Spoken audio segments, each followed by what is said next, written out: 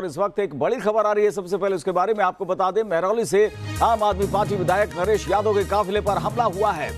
देर रात अज्ञात बंदूकधारी ने ताबड़तोड़ गोलियाँ बरसा दी, जिसमें एक कार्यकर्ता की मौत हो गई, जबकि एक की हालत गंभीर बनी हुई है।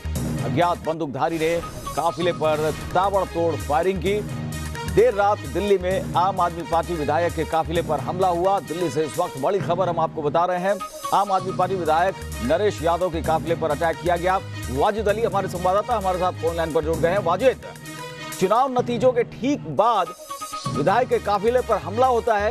क्या कुछ जानकारी मिल रही है इसके बारे में? हाँ, देखिए बिल्कुल बताना चाहूँगा लगभग रात को दस बज के चालीस मिनट का वो वक्त था जब जो महरौली से जीते हुए प्रत्याशी थे आम आदमी पार्टी के नरेश यादव। वो अपने काफिले के साथ मंदिर से दर्शन करके लौट रहे थे। तभी वसंत कुंज इलाके के अंदर आने के बाद उनके ऊपर हमलावर हमला करते हैं। हमला करने के साथ ही जिस जीप पर वो सवार थे उस जीप के अंदर लगभग पाँच से छह लोग थे जिसमें से दो लोगों को गोली लगती है और एक शख्स की मौत हो जाती है जिसका नाम अशोक मान बताया जा रहा है जबकि दूसरा जो हरिंदर सिंह है वो पास के अस्पताल में से भर्ती कराया। और उसका उपचार चल रहा है। पुलिस की अगर माने तो पुलिस जो है अभी फ़िलहाल किसी नतीजे पर नहीं पहुँची है और पुलिस जो है छानबीन कर रही है। छानबीन के बाद ही पता लग बिल्कुल हाँ, क्या सियासी रंजिश की वजह से ये हमला हुआ या कोई और वजह? फ़िलहाल जाँच चल रही है। वाजिद बहुत बहुत शुक्रिया जानकारी के लिए। चुनाव जीतने के तुरंत बाद विधायक पर हमला। बंदूकधारी ने विधायक की गाड़ी पर गोली चलाई। हमले में एक कार्यकर्ता की मौत दूसरा जख्मी। भारी संख्या में पुलिस बल की तैनाती को देखकर यह एहसास हो जाता है कि यहाँ कोई बड़ी वारदात हुई है। जी हाँ इसी जगह पर किसी अज्ञात बंदूकधारी ने चुनाव जीतने के बाद मंदिर का दर्शन करके लौट रहे विधायक नरेश यादव के काफिले पर अंधाधुंध गोलियाँ चलाई।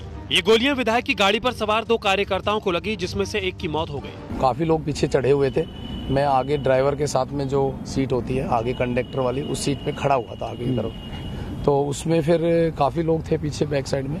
तो दो लोगों को उसमें गोली लगी, जिसमें कि अशोक मान जी की डेथ हो गई है और एक हरिंदर है, वो घायल है, उनको भी गोली लगी है। चुनाव परिणाम घोषित होने के बाद नरेश यादव ने पहले सर्टिफिकेट लिया, फिर मंदिर और दरगाह के दर्शन करने गए। वहाँ से एक ओपन कार से लौटते समय उनकी गाड़ी पर गोली चलाई गई। यही वो घटना स्थल है जहाँ पर नरेश यादव अपने काफिले के साथ पहले तो अपनी जीत का सर्टिफिकेट लेके आए और फिर दर्शन करने के लिए पास के ही मंदिर में गए थे।